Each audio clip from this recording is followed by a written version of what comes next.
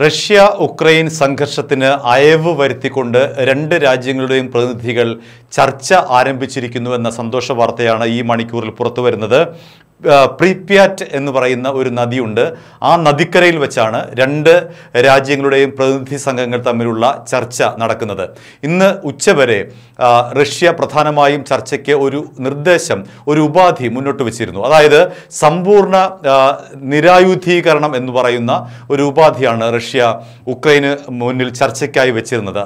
അതായത് രാജ്യത്തെ ആയുധങ്ങൾ പൂർണമായി ഇല്ലാതാക്കി ആയുധങ്ങളില്ലാത്ത ഒരു രാജ്യമായി മാറുക.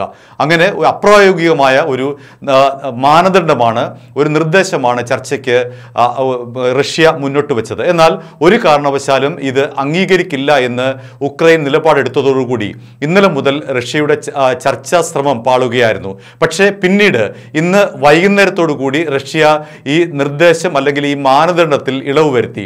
ഒരു മാർഗ ദണ്ഡവുമില്ലാതെ ഒരു മാർഗരേഖയുമില്ലാതെ സ്വതന്ത്രമായിട്ടുള്ള ഒരു വിശാലമായിട്ടുള്ള ചർച്ചയ്ക്ക് റഷ്യ ക്ഷണിക്കുകയായിരുന്നു. ആ ക്ഷണം ഉപാധിയില്ലാതെ ഉക്രൈൻ സ്വീകരിക്കുകയും ചെയ്തു. സന്തോഷത്തോടു കൂടിയാണ് തങ്ങൾ ഈ ചർച്ചയിൽ പങ്കെടുക്കുന്നത് എന്നാണ് ചർച്ചയ്ക്ക് മുൻപായി ഉക്രൈൻ പ്രതിനിധികൾ അറിയിച്ചത്. എന്നാൽ ഈ ചർച്ചയിലേക്ക് എത്തിയതിന് പിന്നിൽ റഷ്യയുടെ വലിയ ഒരു ഭീഷണി ഉണ്ട് എന്ന് നമുക്ക് കാണാതിരിക്കാൻ വയ്യ. കാരണം ഇന്ന് റഷ്യ വൈകുന്നേരത്തോടു കൂടി ചർച്ചയ്ക്ക് മുൻപായി ആണവ ആയുധങ്ങൾ സജ്ജീകരിക്കാനായി നിർദ്ദേശം നൽകിയിരുന്നു വ്ളാഡിമിർ പുടിൻ. അതായത് ഒരു ആണവ യുദ്ധ ഭീഷണി ഉക്രൈന് മേൽ ഉയർത്തിക്കൊണ്ടാണ് നിർബന്ധപൂർവം ഈ ചർച്ചയിലേക്ക് ഉക്രൈനെ കൊണ്ടുവന്നത് എന്ന് വേണമെങ്കിൽ നമുക്ക് കൃത്യമായി തന്നെ പറയാൻ കഴിയും. അങ്ങനെ ആണവ ഭീതി പരത്തിക്കൊണ്ട് ഉക്രൈനെ നിർബന്ധപൂർവം ഈ ചർച്ചയിലേക്ക് കൊണ്ടുവരികയായിരുന്നു. ആ ചർച്ചയിലേക്ക് വരാനുള്ള ഒരു തടസ്സമായി നിന്നത് ഈ നേരത്തെ സൂചിപ്പിച്ച ഉപാധിയാണ്. ആ ഉപാധി മാറ്റുകയും ചെയ്തതോടുകൂടി സ്വാഭാവികമായി തന്നെ ഉക്രൈൻ ഈ ചർച്ചയിലേക്ക് പങ്കെടുക്കാൻ നിർബന്ധിതരായി എന്നാണ് നമുക്ക് കരുതേണ്ടിയിരിക്കുന്നത്. ഒരു ഭാഗത്ത് ആണവ യുദ്ധം നിൽക്കുന്നു. അതേപോലെ തന്നെ മറുഭാഗത്ത് റഷ്യ ചർച്ചയ്ക്കായിട്ടുള്ള ഉപാധിയിൽ അയവ് വരുത്തുകയും ചെയ്തു. അതോടുകൂടി ഉക്രൈൻ ചർച്ചയ്ക്ക് സമ്മതം മൂളുകയായിരുന്നു. സന്തോഷത്തോടു കൂടിയാണ് തങ്ങൾ ഈ ചർച്ചയിൽ പങ്കെടുക്കുന്നത്. ചർച്ചയിൽ ശുഭാപ്തി വിശ്വാസമുണ്ട്.